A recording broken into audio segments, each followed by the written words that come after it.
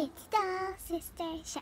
And today we're going to be doing a video on the trampoline. Yeah, it's so bouncy. Woohoo! But we're going to need some activities. Let's get the activities. Cool. Um, and cool Easter balls. And we're going to have to like scurry them around and try find them. So one, two, three.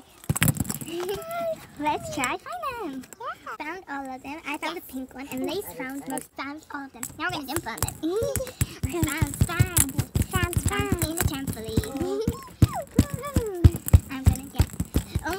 is. That's it for our video, guys. We hope you enjoyed these cool activities. If you want more activities on trampolines, tell us that down in the comments down below. Bye everyone from the Sister Show. I'm gonna be in the camera. No.